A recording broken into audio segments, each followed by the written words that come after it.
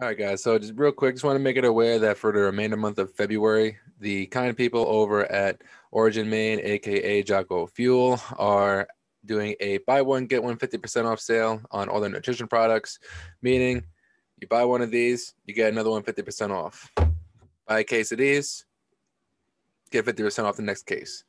So take advantage of that, and you can also add an additional 10% off savings just by adding my code Welsh10 W E L S H W E L S H, not C H, not like the fucking grape juice company. W E L S H 10 1 0 Welsh 10 at checkout, and that'll save you 10% off as well. On top of the buy one, get them 50% off.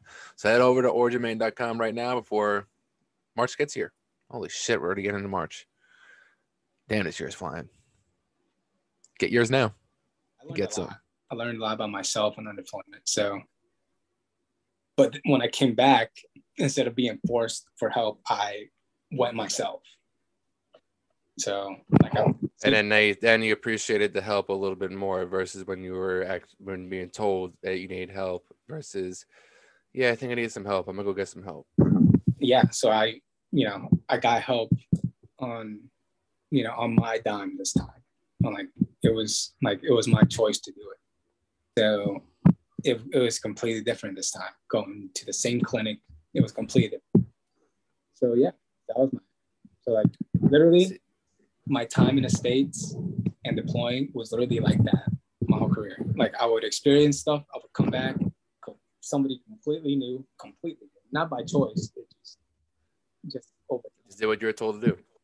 Yeah, just over time, I just like grew differently. Uh, like yeah, it was just yeah. So the third time, now that now that we're talking, now we're like we're balls deep in the like, military talk, but the third time around, this time, uh, I was supposed to get out of the army completely right before this third deployment, right? But the reason why I didn't was because I wanted to get promoted to like an NCO. And I was like, you know, I, I had done all this work to get promoted and I would miss I would miss promotion by points, you know, because it's like a little it's like a point system. Yeah. Yeah. So I would miss it by like one or two points. And it would and it was like every month, every month I would miss it. And my counselor, like my career counselor in the army, uh, they were like, well, you came on orders to go to Kuwait as a duty station. And I'm like, I had just gone, you know, I found out I, I had orders to go back to Kuwait the same week I got back from Afghanistan.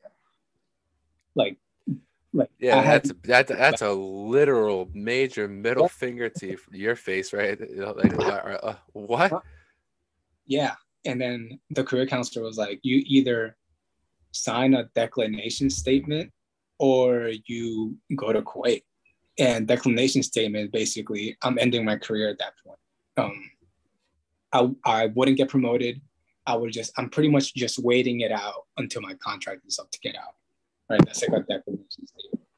Oy. So, and I'm like, this is not about to happen to me right now. Like, I was about to get promoted, right? And like, I was like trying to fight it and I just couldn't. I couldn't delete orders at all. Like the Pentagon said, you're going to fucking court. And I'm like, it's either that or you're getting out the army by force. And you're not getting from